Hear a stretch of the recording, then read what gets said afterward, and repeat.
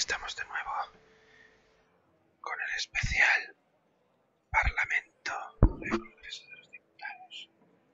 Como veis, esto es lo normal en el Congreso de cháchara y pocas cosas.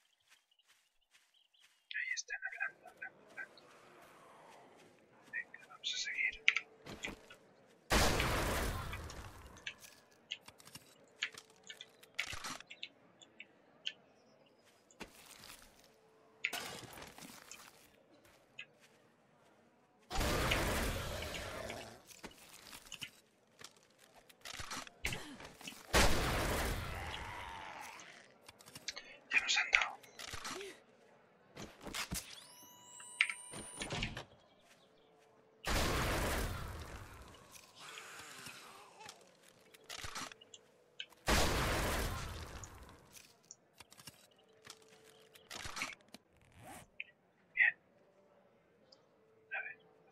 este vasito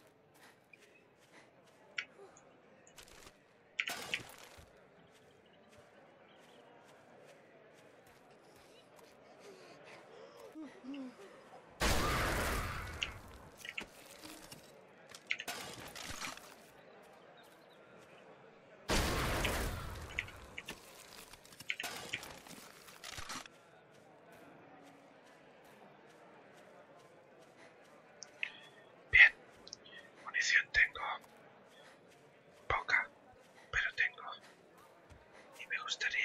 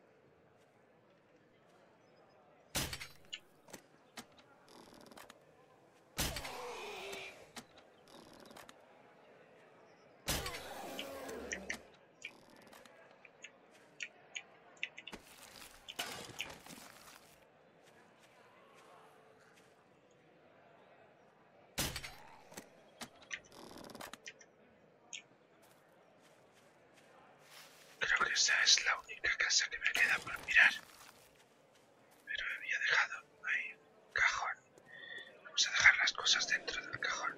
Señorías, vayan tomando asiento.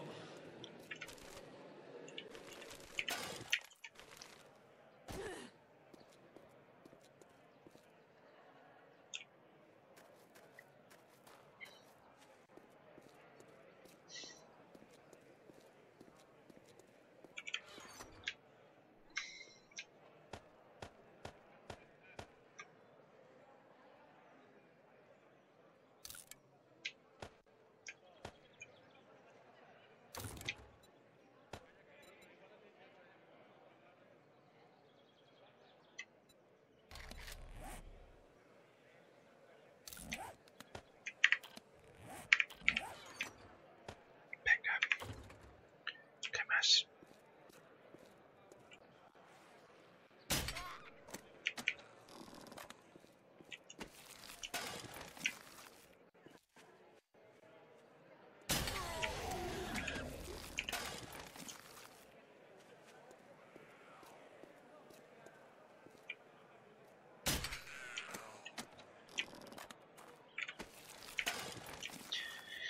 Bien. Dieciocho y pico. Venga. Hemos perdido una hora y pico haciendo limpieza de la zona. Vamos a construir. Señorías, señorías, se les ruega silencio y que ocupen sus escaños. Ahí va. Bien. Allí hay. Eso es. Blueberry. Nos vamos a coger un poco.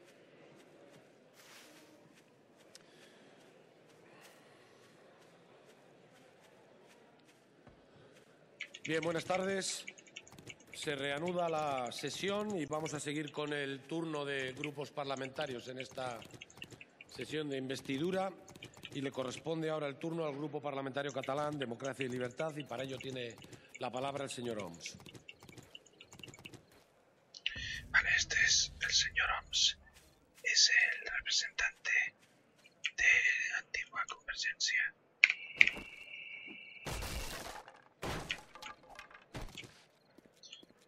Ahora llamada Democracia y Libertad. Es una persona dura y bastante Silencio, por favor. muy seria.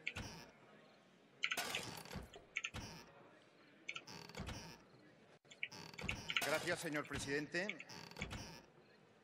Iba a decir presidente del Gobierno en funciones y Gobierno en funciones, pero una vez más están ausentes y ahora de una forma literal, ¿no? supongo se van a incorporar en los próximos minutos. Señoras diputadas, señores diputados, señor candidato a la presidencia del Gobierno, buenas tardes.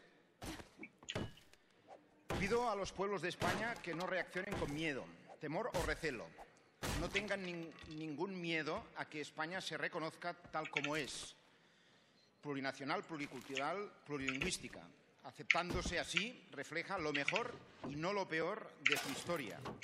Defiende su presente y apuesta por su futuro como realidad y proyecto común. En definitiva, refleja lo mejor de sí misma. Muchas veces se ha pedido a Cataluña que explicara hasta dónde quería llegar. Ahora se lo hemos dicho de forma precisa. Las cartas están sobre la mesa, boca arriba. Cataluña ha hablado con voz clara y firme, pacífica y democráticamente, respetando las leyes. Ahora les toca hablar a ustedes. Estas palabras que acabo de, leer podrían ser actuales, de hoy mismo, de estos, de estos tiempos corrientes. ¿no?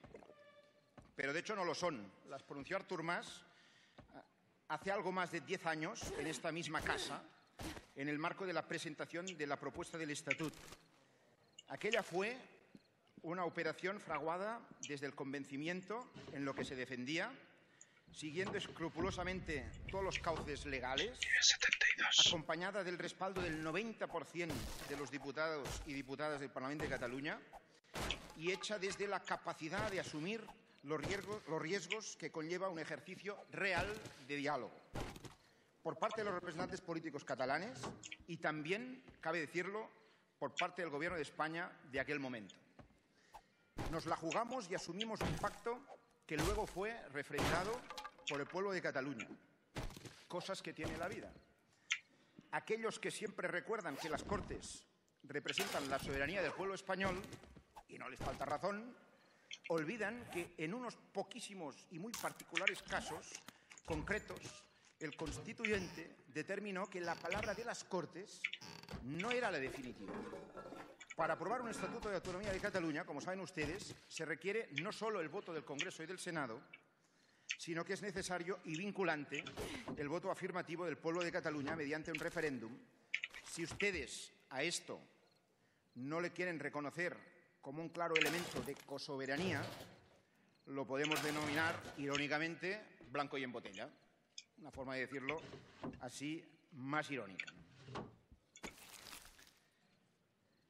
Ya está. Vamos de nuevo al desenlace del estatut, Ya la tenemos. porque resulta claro, de la Magnum. si en el mes de junio de 2006, pronto hará 10 años, Nos vamos. el referéndum del estatut no se hubiera votado afirmativamente, aquella norma aprobada por las Cortes no hubiera entrado en vigor.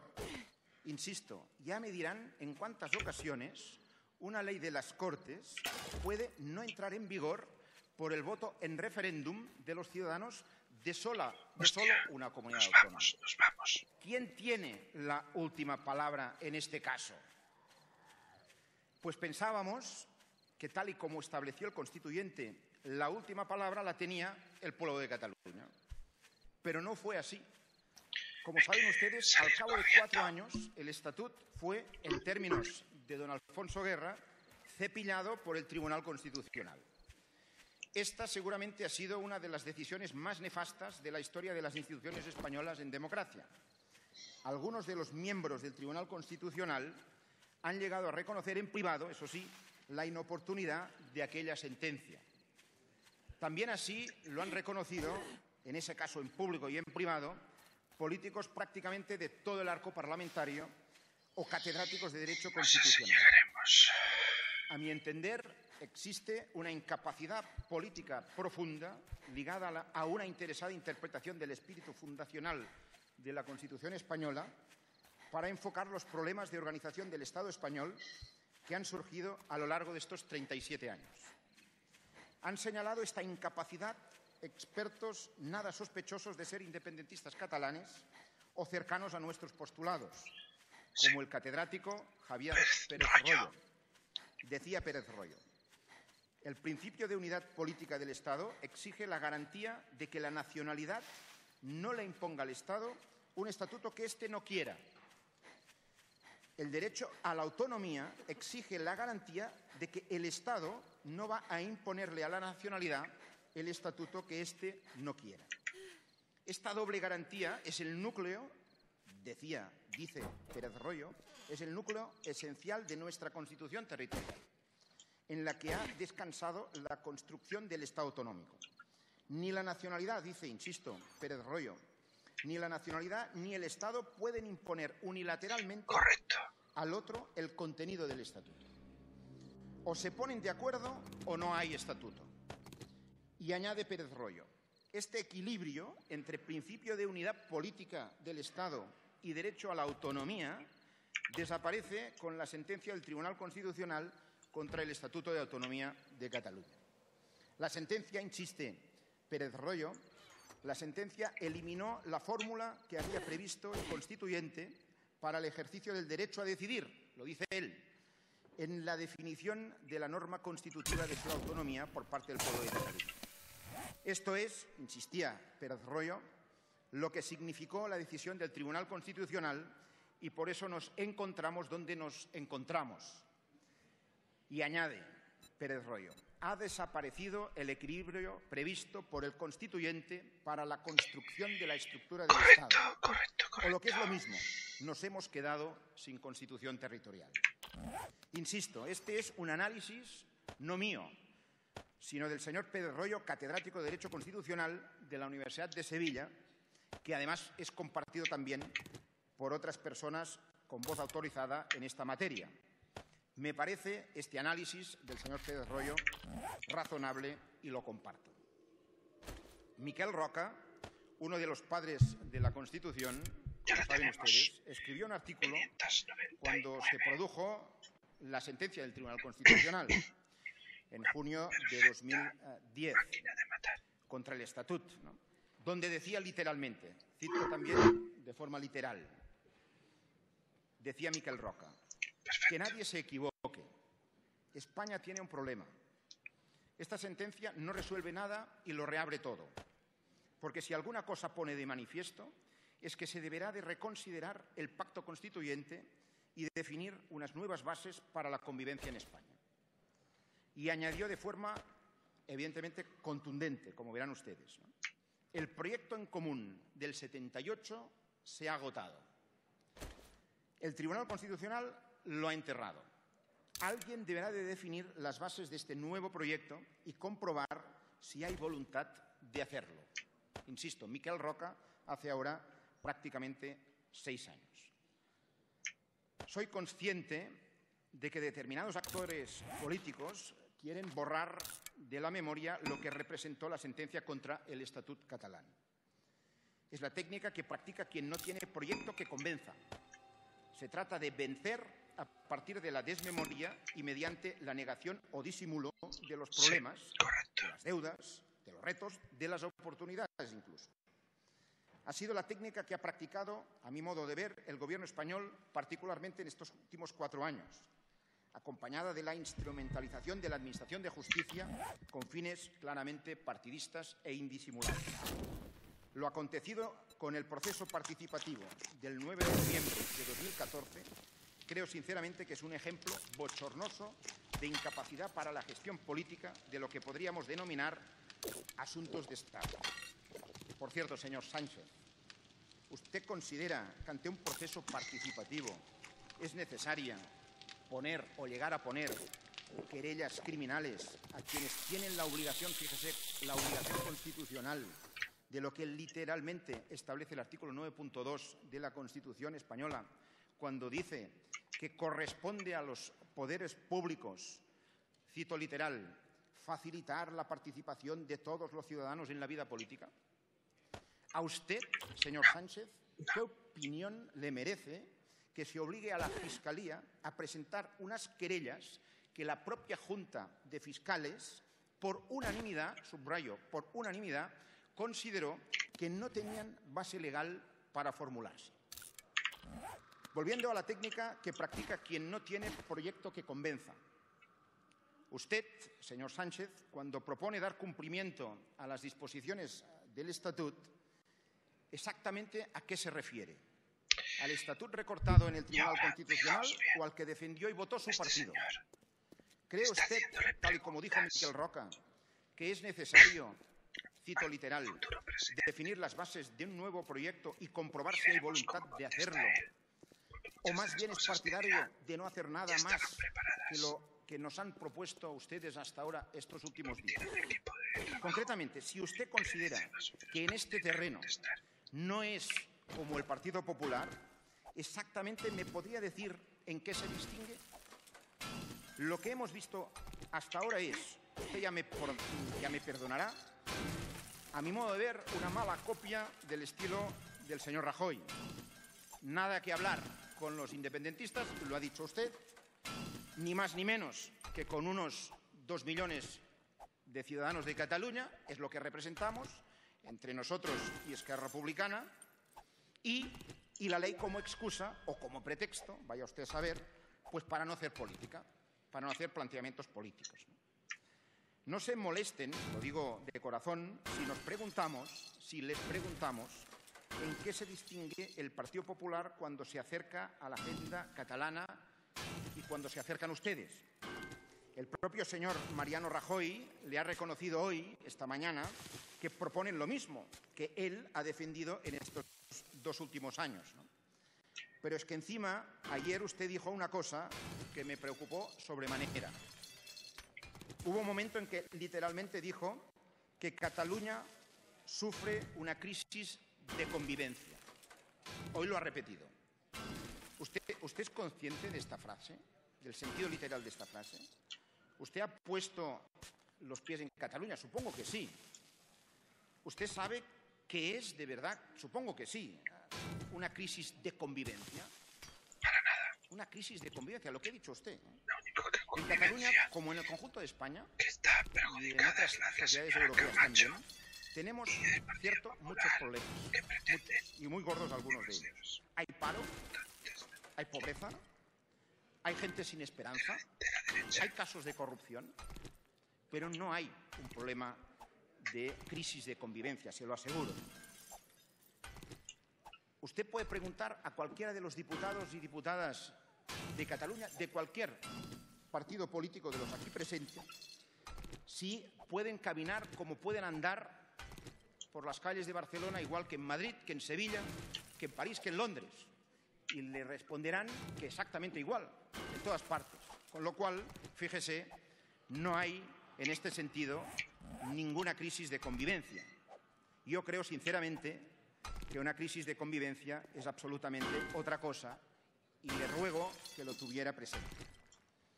Señor Pedro Sánchez, el lenguaje tremendista, a mi modo de ver, completamente ajeno al de la tradición liberal de Europa y de la Europa moderna, no permite establecer diálogo alguno, ni alcanzar acuerdo alguno, ni empezar ningún tipo de deliberación. Es por todos sabidos que Cataluña ha pasado abiertamente de una actitud reactiva a una actitud propositiva. Pensamos que España debería de hacer lo mismo, proponer algo, dar salida a lo que, consideran un problema. La nueva actitud catalana no tiene nada que ver con los truculentos desafíos ni órdagos a ninguna constitución, sino simplemente tiene que ver con una sociedad madura, pacífica y democrática que pide renovar sus vínculos con España desde la libertad y desde un Estado propio e independiente, como disponen tantas otras naciones en nuestro entorno. Insisto, señor Sánchez, aquí no hay ni buenos ni malos, sino ciudadanos que piensan de forma distinta y que expresan sus opiniones de forma pacífica. Transformar la discrepancia, fíjese, transformar la discrepancia política en tragedia sobreactuada no es propio de la Europa del siglo XXI. Háganse, hágase también usted, señor Sánchez, algunas preguntas y díganme si son capaces de darles una respuesta en público que sea concordante con lo que probablemente piensan y expresan en privado. Sin la sentencia contra el Estatut, ¿se habría abierto el proceso catalán que hoy está en curso? ¿Fue neutro que el entonces presidente de la Generalitat, José Montilla, encabezara, perdón, la primera gran manifestación pacífica y democrática de las recientes movilizaciones que se han sucedido estos últimos cinco años en Cataluña? Por cierto, por cierto, con el lema Somos una nació, nosaltres decidim, somos una nación, nosotros decidimos. ¿Existe o no existe un conflicto de legitimidades entre lo que representa el necesario voto afirmativo en referéndum del Estatuto catalán y lo que supone una sentencia del Tribunal Constitucional que cambia sustancialmente aquello que la gente ha validado con su voto directo? ¿No tiene algo de unilateral y arbitrario incluso que un tribunal que además estaba altamente politizado y desprestigiado altere sustancialmente aquello que se decidió después de un diálogo, una negociación, un pacto y un referendo? ¿Se imaginan qué pasaría si hoy se pusiera a votación en Cataluña el estatut que resultó de la sentencia del Tribunal Constitucional? ¿Creen que saldría respaldado? ¿Se atreven a preguntarlo? Si fuera el caso, ustedes, señor Sánchez, ustedes, señores del Partido Socialista Obrero Español, ¿qué posición defenderían?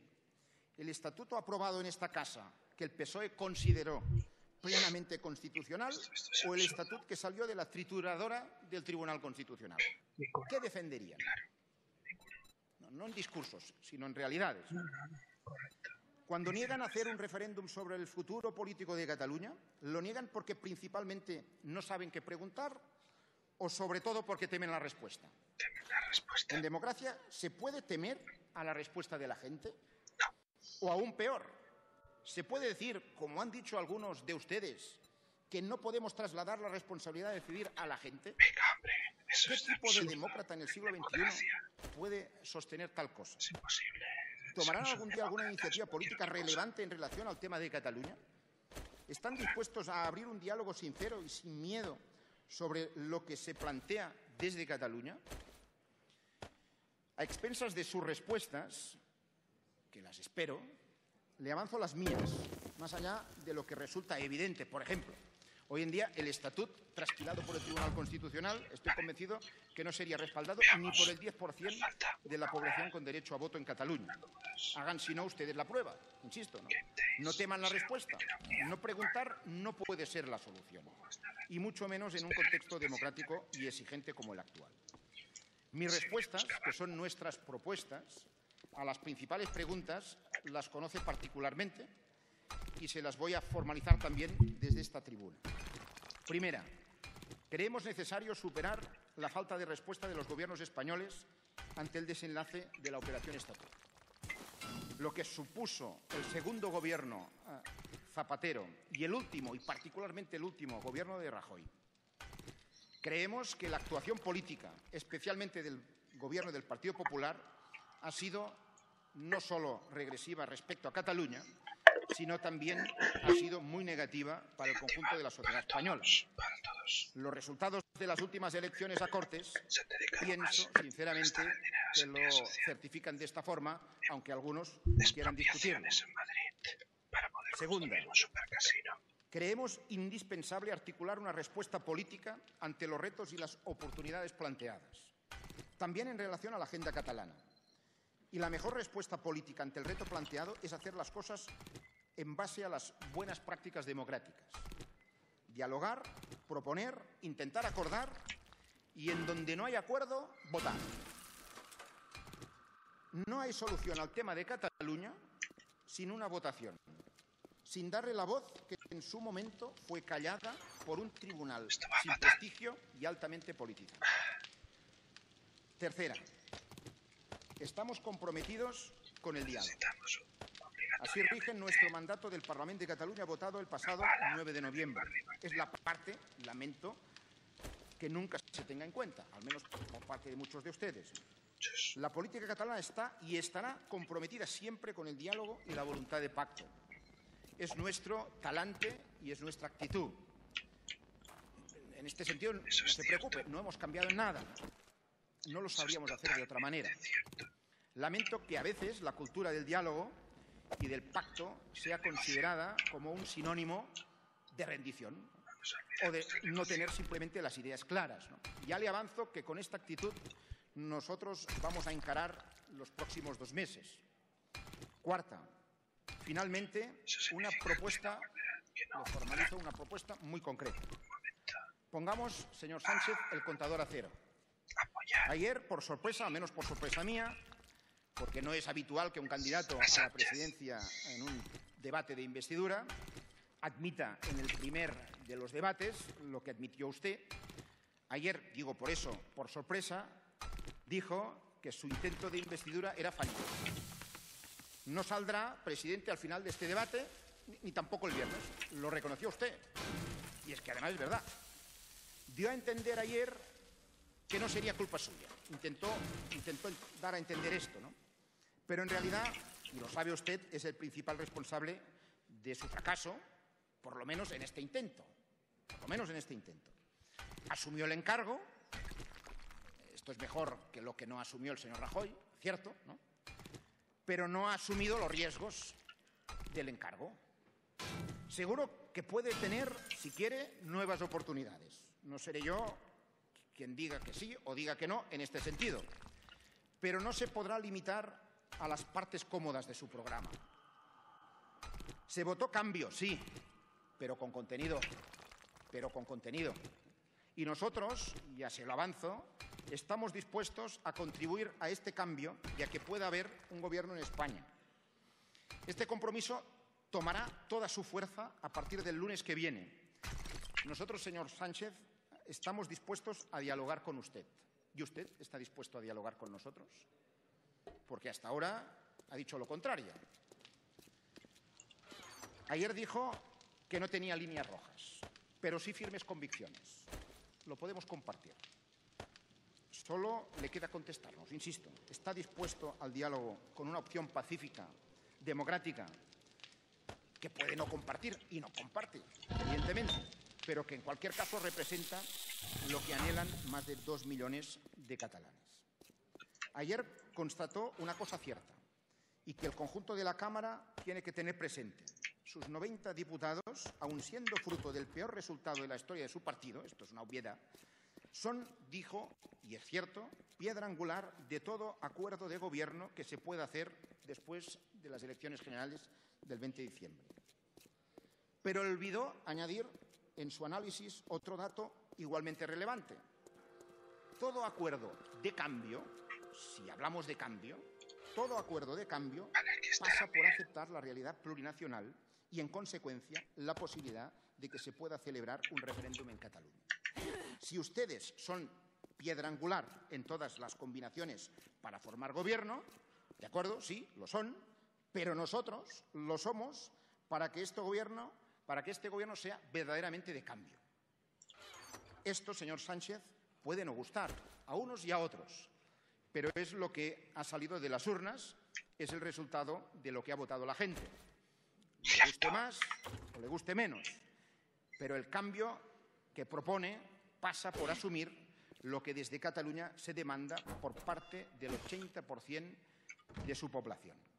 Si no, es verdad que tiene usted a su alcance, y se lo han dicho otros grupos políticos, tiene a su alcance un gobierno de gran coalición, que de producirse, con lo que hemos escuchado esta mañana, sería, sin lugar a dudas, sin usted y también sin el señor Rajoy, en la medida que ambos, lo han dicho ustedes, se han autodefinido o han definido uno al otro como tapones para cualquier acuerdo. Es como se han situado las cosas esta mañana. Mientras tanto, si su posición es la que hemos conocido hasta ahora, ya le anunció que nuestro voto será no a su investidura. No le sabemos ver por ningún lado propósito de cambio más allá del antiguo y antipolítico, a mi modo de ver, quítate tú, que me pongo yo. No nos convence con este argumento. Lo que le he razonado justifica nuestra posición política de sobras, que es no a la propuesta que hoy nos lleva en esta investidura, en este debate de investidura. Pero hay, eh, por descontado, otras razones a propósito, además, del acuerdo suscrito entre ustedes y Ciudadanos. Voy a limpiar primero esto. Usted, de hecho, para justificar este acuerdo entre el Partido Socialista Obrero Español y Ciudadanos, se apuntala en otra lectura de los resultados electorales reflejados en esta Cámara, que también es cierta. Dice, no es posible un gobierno de izquierdas, ni tampoco un gobierno de derechas. Muy bien. Ahora, lo que me ha sorprendido, se lo digo sinceramente, es el desenlace de este análisis, ¿no? que aplica usted. Dice, pues hacemos o vamos a hacer un gobierno de, cito literal, mestizaje ideológico. Desde mi punto de vista, ha sido una de las aportaciones más sorprendentes de su intervención de ayer, lo digo sinceramente. ¿no? Tantos años, ¿no? Tantos años escuchando desde la derecha y desde la izquierda lo que eh, mi querido amigo Carlos no, bisexualidad política, que era anatema, esto del mestizaje ideológico era anatema, ¿no? Eh, pues ahora resulta que esto se presenta como algo moderno y como algo necesario. Puedo compartir, fíjese que yo lo puedo compartir. Tenemos, de hecho, una cierta experiencia en uh, apostar por caminos de interés general, pruebas hemos dado y de qué manera, y de sentido común. Pero le recuerdo que su formación política, y también otras, en tantas ocasiones eh, nos acusaban precisamente de aquello que ayer usted presentó como gran novedad, como gran oportunidad, como gran necesidad. Fíjese que además pasa una cosa, ¿no? Esta aproximación no, no le disculpa de concretar una propuesta, por ejemplo, en el terreno económico. Y ayer lo que vimos y lo que hemos seguido viendo hoy es que ustedes no tienen un modelo económico que pueda ser contrastable. Ayer no nos habló de la industria, del comercio, de la internacionalización de nuestro modelo productivo, del turismo, de los costes energéticos, de la apuesta por el conocimiento, del reto de la logística y las grandes infraestructuras de comunicaciones y de telecomunicaciones. En definitiva, no escuchamos cuál es su modelo de crecimiento y no se pueden combatir en Europa, al menos a nuestro modo de ver, las políticas de austeridad si no se tienen las ideas claras y definidas y precisas sobre qué modelo de crecimiento se defiende. Y ayer no pudimos ver un programa en este sentido económico que fuera o es o sea contrastable. Tampoco en este marco de mestizaje ideológico vimos ayer una posición clara sobre cómo defender el estado de bienestar. Aparte de frases que podríamos escribir todos y de citar los lugares comunes más habituales, en realidad, ¿qué modelo de estado del bienestar defiende? El modelo estatalista que desconfía de la concertación y de la colaboración entre la dimensión pública y la iniciativa social que ha impulsado y de qué manera el Gobierno del Partido Popular? ¿O estaría más a favor de un modelo de inspiración nórdica, donde el protagonismo del estado del bienestar no es de quien presta el servicio, sino de quien lo recibe, es decir, de los ciudadanos y de las ciudadanas? Por cierto, sus apuntes sobre el plan de choque de emergencia social y su compromiso de reconstruir, dijo, el estado del bienestar entran en clara contradicción con el marco competencial reconocido a las comunidades autónomas. ¿Sabe? Si realmente quiere empezar a reconstruir el estado del bienestar, lo primero y más rápido que podría hacer es redistribuir el esfuerzo del cumplimiento, en el cumplimiento, perdón, en el cumplimiento del déficit. Traducido, para que todo el mundo lo pueda entender, los recortes hasta ahora han ido a espaldas principalmente de las administraciones públicas que soportan las principales políticas del bienestar, que son, como saben ustedes, la Administración autonómica y la Administración local. Mientras que la Administración General del Estado ha hecho un esfuerzo mucho menor, mucho menor. Eso sí, el Gobierno del Partido Popular lleva cuatro años culpabilizando a quien no tenía margen para actuar, haciendo gala, creo yo, sinceramente, de una deslealtad institucional mayúscula. En este terreno ustedes no han concretado nada desde el punto de vista de este nuevo, eh, posible nuevo reparte del cumplimiento de los objetivos de déficit. El documento firmado por ustedes y ciudadanos es, ciertamente amplio. ¿no?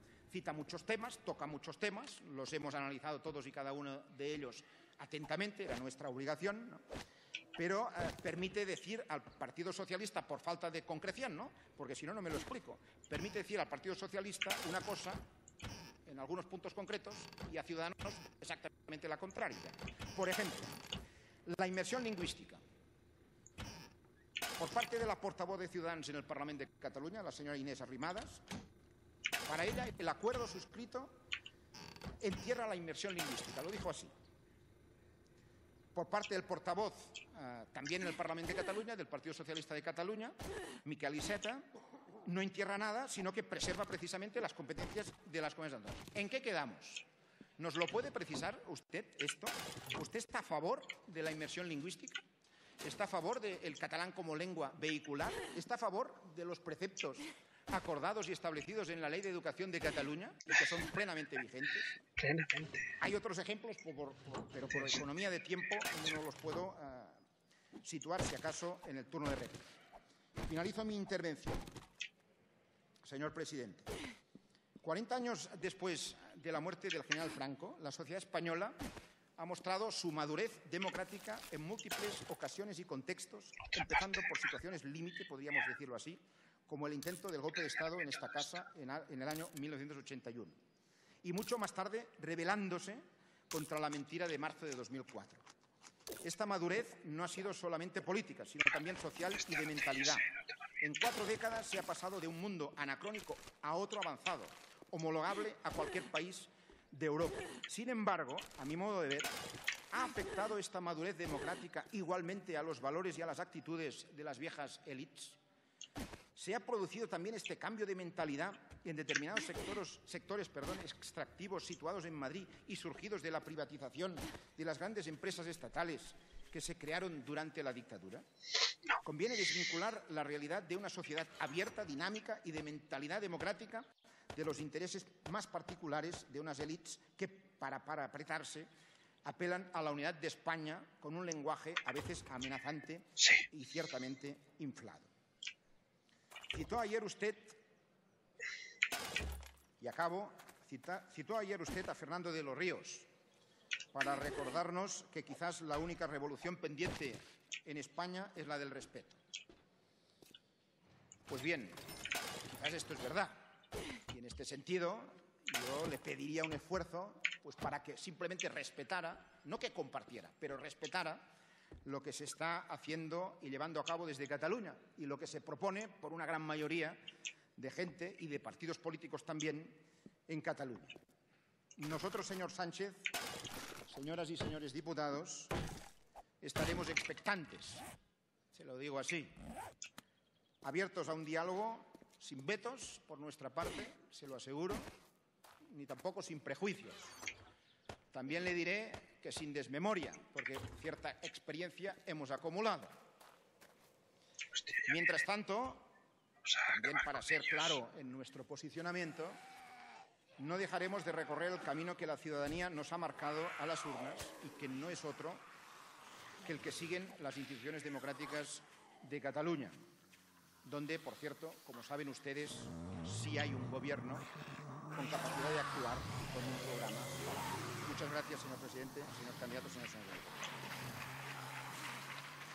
Muchas gracias, señor Oms.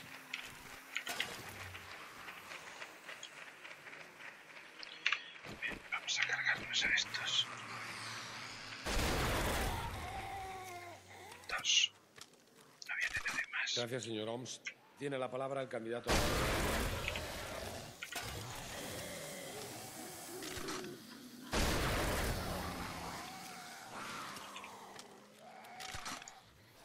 Mira, mira, mira. Gracias, cómo señor ha presidente. aparecido. Señor Oms. Am, le, le- le agradezco el tono, le agradezco eh, el tono de su intervención. Sí me gustaría, porque esto es efectivamente un, un debate de investidura, no andarme por y decirle claramente que no compartimos su conversión al independentismo, el del grupo parlamentario y y que en consecuencia eso nos sitúa en, en posicionamientos y en planteamientos opuestos.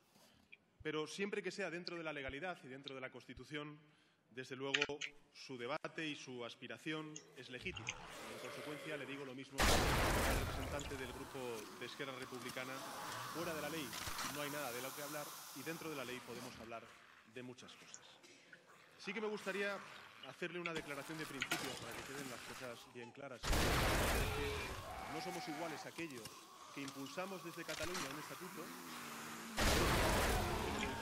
el primer momento hasta incluso poniendo mesas petitorias en otras partes de España en contra de Cataluña.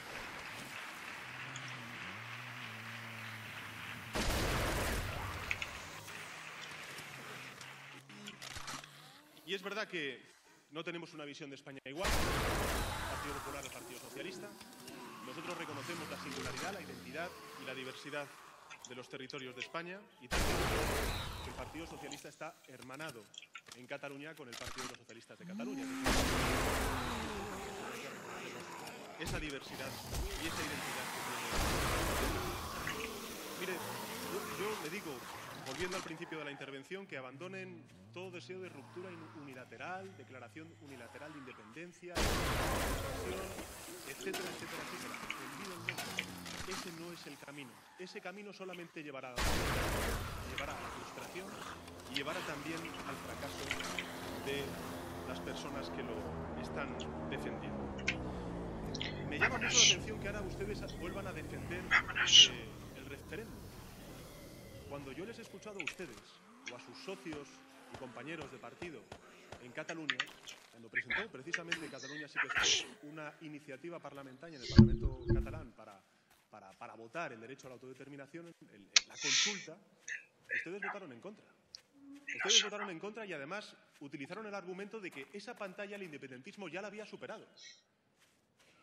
Así que, sinceramente, señor Oms, creo que están utilizando de nuevo la consulta simplemente como espantajo o simplemente como señuelo para no, digamos, apoyar o, o no, o no propiciar o desbloquear el que se pueda utilizar o el que, no se, o el que se pueda alumbrar un vez- gobierno en no nuestro llego. país. Le diré una cosa, señor Oms.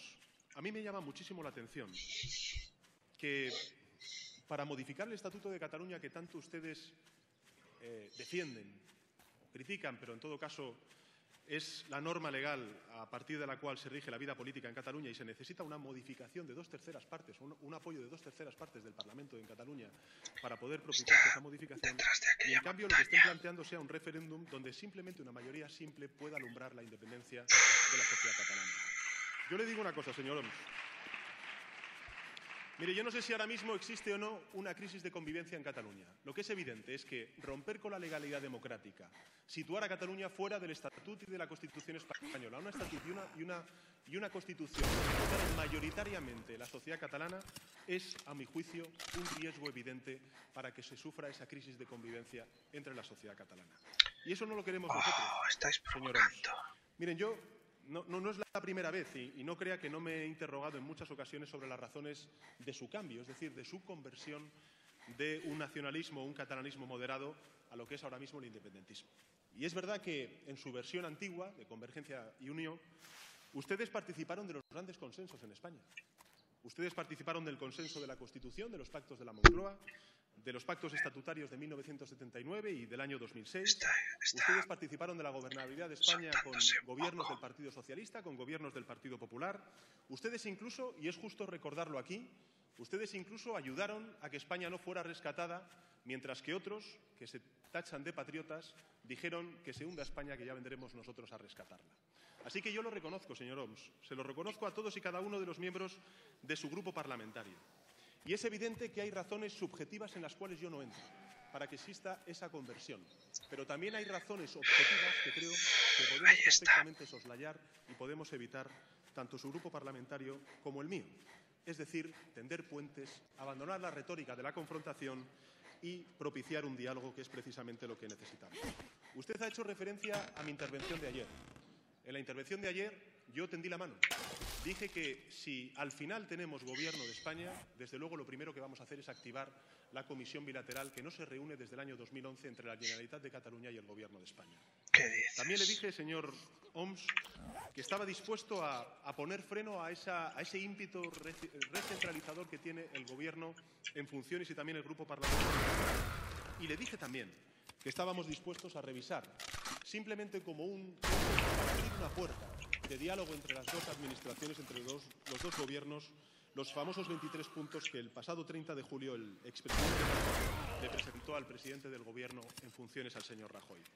Desde luego le digo, señor que el primer punto de ese acuerdo, o esa propuesta que no llegó a ser acuerdo, de un escenario de consolidación presupuestaria para el ejercicio 2015 que entiendo que puede ser perfectamente posible para el año 2016 y que usted ha apuntado aquí en su intervención cuando dice que ese reparto del esfuerzo presupuestario de los compromisos de déficit público tiene que ser mucho más equitativo entre las comunidades autónomas y la Administración General del Estado, yo le digo, señor Oms, que desde luego esa es la posición del Partido Socialista. Nosotros así lo hemos defendido en el Consejo de Política Fiscal y Financiera, lo sabe el consejero eh, de Hacienda de, la Generalitat de Cataluña, porque.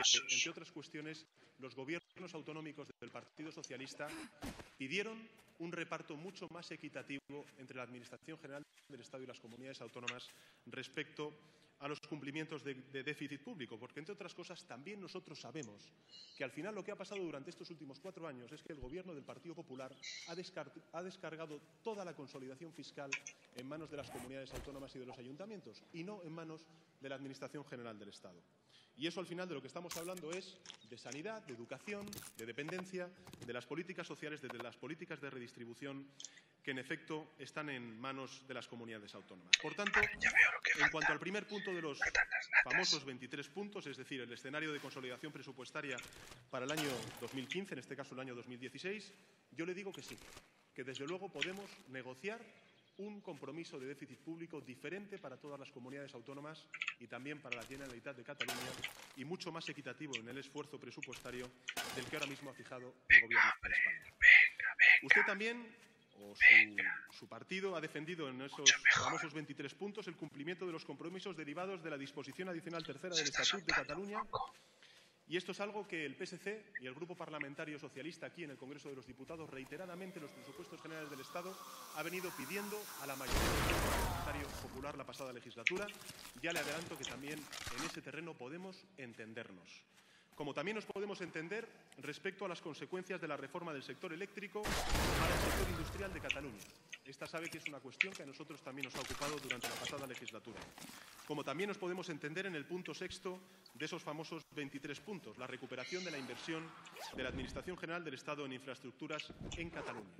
Como también nos podemos entender para reducir o resolver el déficit estructural de financiación del sistema Este es el público de salud este en Cataluña. visto. En este punto le diré,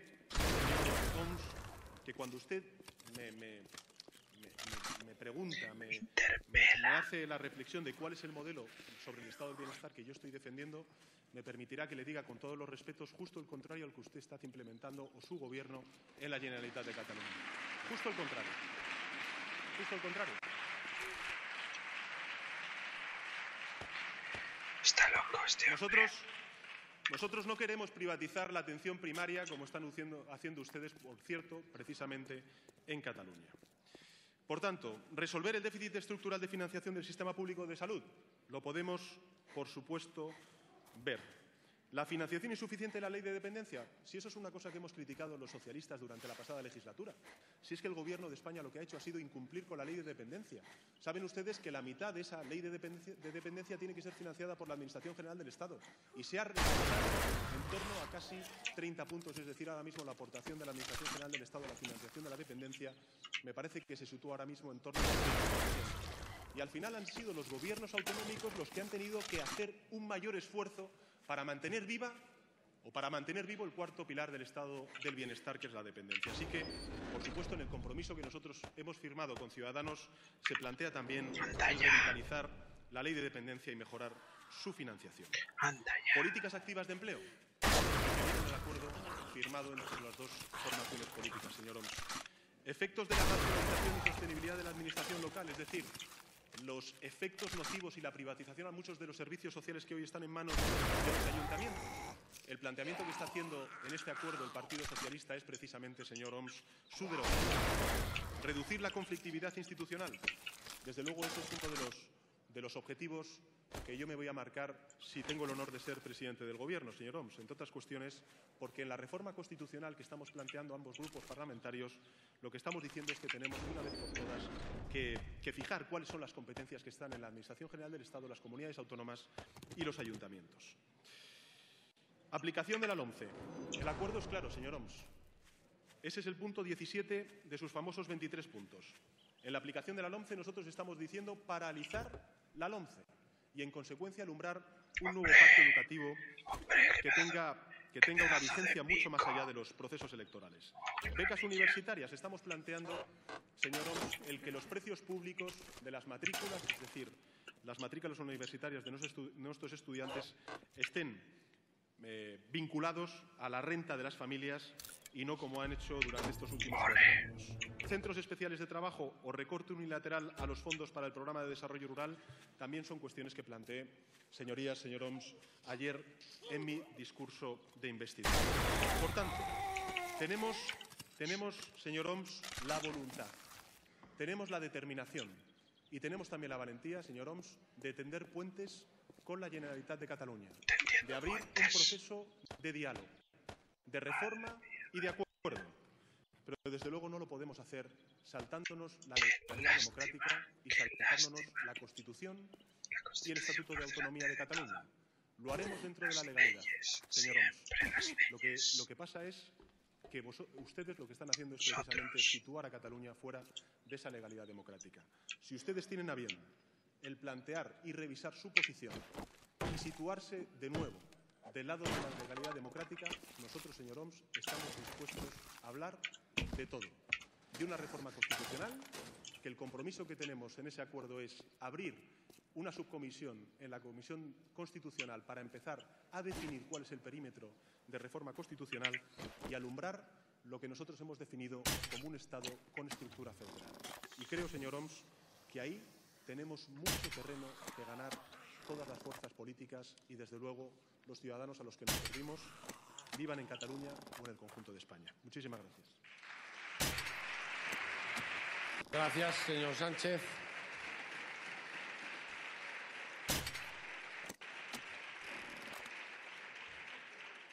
Señor Oms tiene la palabra.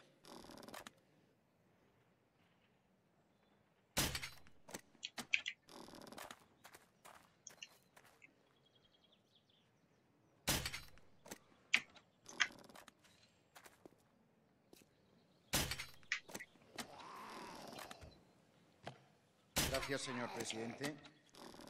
Señor candidato, cuatro apuntes. Sepa, por si no lo tiene en cuenta lo suficiente, el modelo de Estado del Bienestar que se ha construido a lo largo de todos estos años de democracia en Cataluña lo hemos hecho conjuntamente, ustedes y nosotros. Yo no le voy a quitar al Partido Socialista de Cataluña ningún mérito, lo hemos hecho juntos. Lo digo por su afirmación de antes. Como hemos hecho juntos, ley de la sanidad, ley de la educación, ley de los servicios sociales, como hemos hecho juntos también la toma de decisiones que han ayudado a que no quebrara el estado de bienestar en Cataluña y en España. Acuérdese usted, porque además me parece que era diputado y lo votó, uh, la convalidación de un Real Decreto ciertamente muy polémico en el año 2010, ¿verdad? Creo recordar que en mayo del 2010, que aprobaron ustedes, el Partido Socialista Obrero Español, y que solo obtuvo el respaldo de Convergencia, de Convergencia Unión. Porque los patriotas del Partido Popular, que ahora nos dan lecciones todo el día de salvar España